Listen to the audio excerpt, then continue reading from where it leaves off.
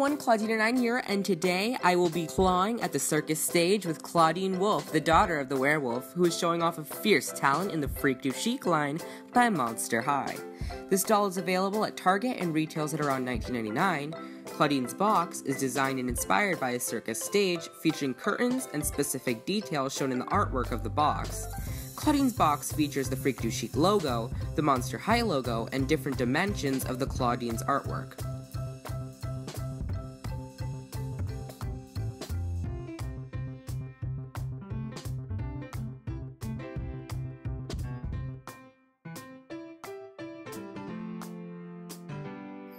The back of the box Freak Du Chic story synopsis and also social media links. Now let's debox the devilishly divine Clawdeen Wolf doll.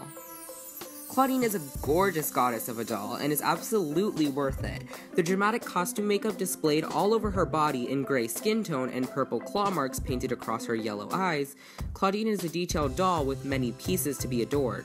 Clawdeen is meant to be a gentle lion tamer and has pastel purple hair, a top hat made of plastic, black gloves which are not removable, bracelets, a fire molded hoop, a black and white tinted outfit with plastic piece on the bodice, black and white tights, and super tall boots, which makes the doll appear taller than she actually is.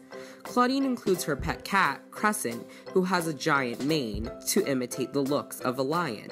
She also includes a doll stand, doll brush, shaped like a skull, and also a poster that reads Clawdeen Wolf. One thing I would change about this doll is the thinness of her hair. Although her hair is gorgeously styled and is such a pretty color, her hair isn't very thick.